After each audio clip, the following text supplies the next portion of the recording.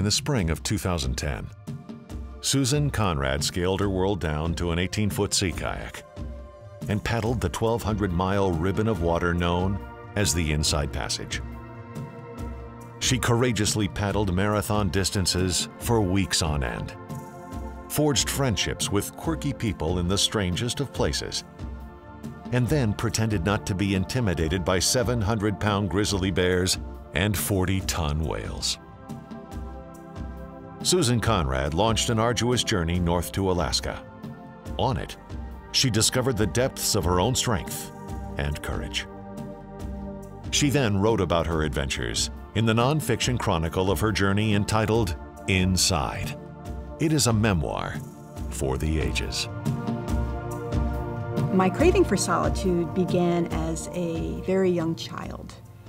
And I come from a somewhat dysfunctional family and have a history of betrayal and, and neglect. And I grew up on a 500 acre dairy farm in upstate New York and was pretty much unsupervised during my childhood.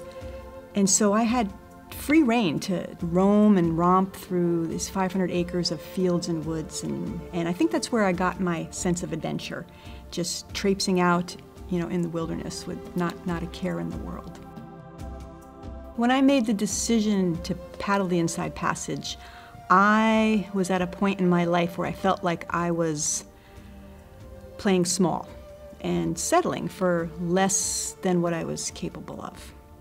And I eventually came to the conclusion that that put me at a huge risk for never actualizing my dreams. And that was a risk that I wasn't willing to take. So I just decided to go for it. And I'm really just an ordinary gal who made this commitment to bridge the gap between my, my dreams and reality. The distance between those two is called action. I believe that we're all infinitely capable of accomplishing anything that we want to in life. We simply need to believe and then we need to act on that belief.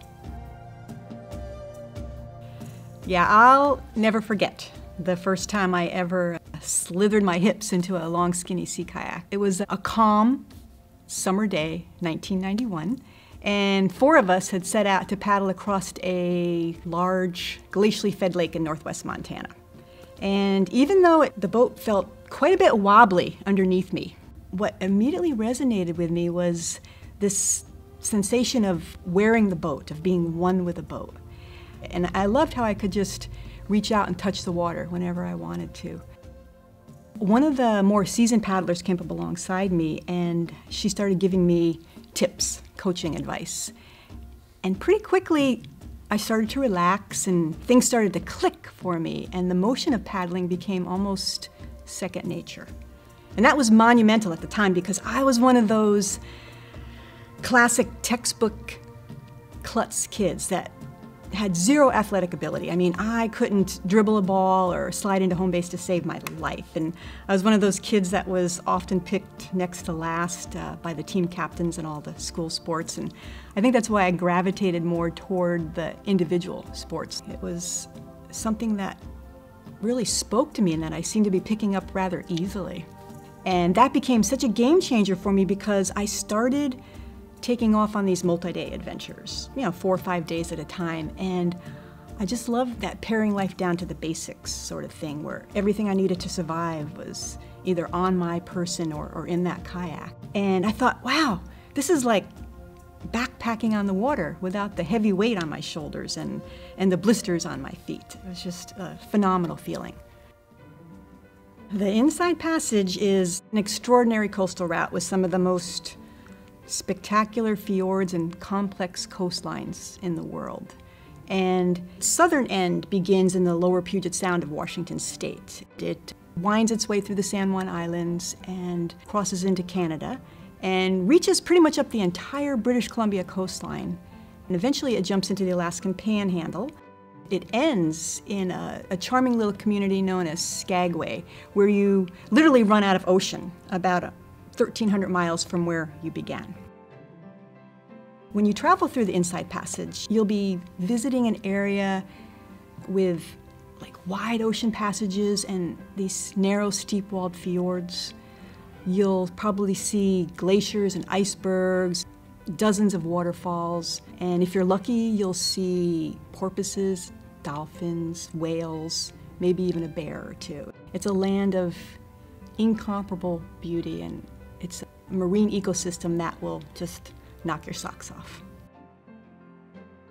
I believe that anyone who's done anything somewhat major in their lives has at some point had a mentor or a guide to help them along the way. And my mentor was a man named Jim Chester. And he led this incredible life of adventure and exploration.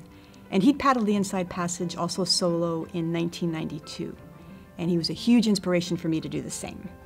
And when I started planning my own expedition, Jim helped me tremendously with logistics, he lent me thousands of dollars worth of charts, helped me plan the route. He even followed me religiously on my satellite tracking device so he could log in on, on Google Earth and see where I was at you know, any given moment in, in real time as I worked my way north. And because he'd paddled the Inside Passage himself, he was as if he had this finger on the pulse of what I was experiencing at any given moment. His involvement on all these levels added such a lovely element to everyone that was involved with this journey.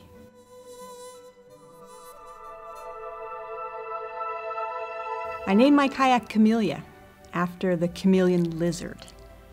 So these lizards have eyeballs that rotate 360 degrees independently in their sockets. So this metaphorical name that I gave her was more about this collaborative vision where I hoped that, you know, combining my straight ahead, dead ahead focus and determination, she would have this all encompassing view, just scanning the horizon, looking ahead of us, behind us, both sides, just, just keeping us safe as we paddled the inside passage. She's fire engine red. She's long and lean and, and tough as nails. She weighs 58 pounds, soaking wet. She was the love of my life. She was my, my transportation, my home, my confidant. She was, she was my best friend on this journey, my BFF. Paddling the Inside Passage was a journey that took me not only north to Alaska, but inward, where I eventually discovered the depths of my own strength and courage. And, you know, at times I, I paddled through this land of magic and solitude amongst whales and icebergs and and other times I faced real dangers, storms and big seas, enormous ships, ever-present bears, and just all these challenges that at times were more than I had bargained for. And my journey took me 66 days to paddle from Anacortes, Washington to Juneau, Alaska, and it was a distance of 1,148 miles, to be exact. And it was totally self supported in that I carried all of my own gear, I set up all of my camps, and I orchestrated all of my resupply boxes. So th these were essential items that were, you know, shipped ahead from my home base to ports of call, these towns that I would paddle into to retrieve my supplies that were mailed ahead. Oftentimes, I experienced this social vacuum where I didn't see another human being for days on end. And then other times, I found myself avoiding the tens of thousands of people that would, you know, throng the streets in these ports of call that I would paddle into to retrieve my supplies. And as difficult as parts of my journey were, the Inside Passage is a place that I have hopelessly fallen in love with, that continues to, to draw me back. It's a place that I will never ever tire of visiting. So my campsites varied from picture postcard perfect to marginal, like I think I can make this work, to you gotta be kidding me. The all time low point of the trip the most harrowing event would put me on a 50 mile stretch of water in British Columbia known as Grenville Channel.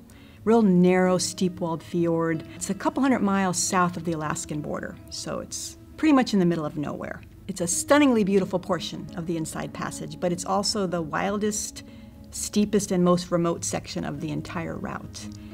And on my 38th day of this expedition, I was practically eaten alive by black flies, forced to paddle 40 arduous, unintentional miles because of these territorial mama grizzly bears that had outwitted my intended campsites. I'd become mildly hypothermic. I was battling these gale force winds and torrential downpours. I had this total meltdown and came so close to just calling calling it quits, just throwing in the towel and aborting the trip right there. Definitely a low light of, of my journey.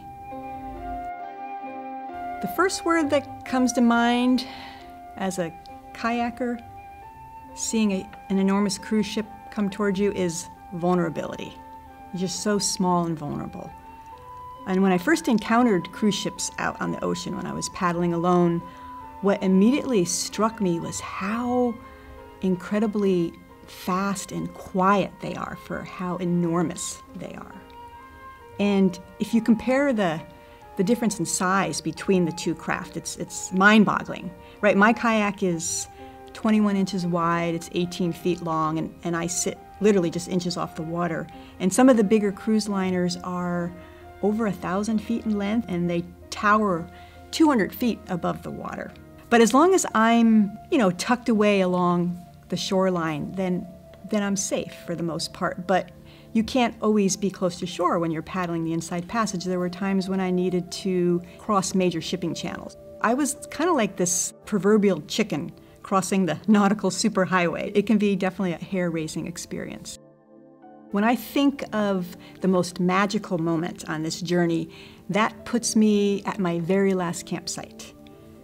And I had chosen this small crescent shaped pebble beach. I'd pitched my tent, I set up camp, and I was surrounded by these brilliant pink wildflowers. And I had snow capped peaks hanging above me. I had a delightful babbling brook not too far from my tent. And I had sweeping views of Juneau, which was my final destination, and then it was only 15 miles away. And there was even a small pod of humpback whales playing in this bay out in front of me all night long. So it was hands down my favorite campsite out of the entire trip. And to this day, it's where I go to when I need that, that mental timeout, when I need to go to my, my happy place. It's really an honor for me to be able to share my stories and images with the, the, guests on board Princess Cruises. And it's a bit surreal that I'm doing this while sailing over much of the same waters that I paddled in, in 2010. And everyone on board Princess Cruises is on an adventure, right? We're all on this grand adventure.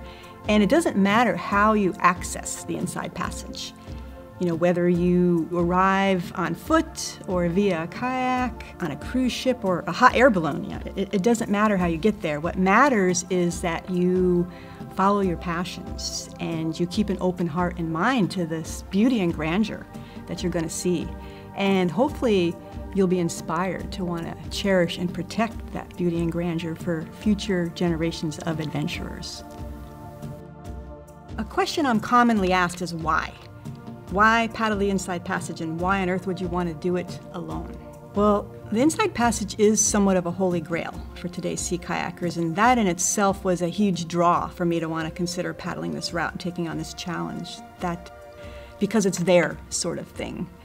But Mostly it was about this combination of circumstances that was unraveling in my life at that time.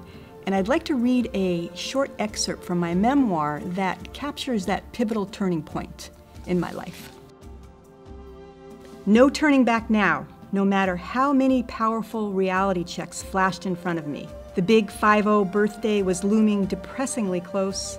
I was pitifully out of shape and still nursing my wounds from a series of losses that had left me with a raw, lingering ache. In addition to the recent death of my father, a close friend had died, another had moved away, my cat had been eaten by a coyote, and my long term relationship was falling apart. I had withdrawn from the paddle sports business that had defined me for 10 years and felt a strong need to reinvent myself.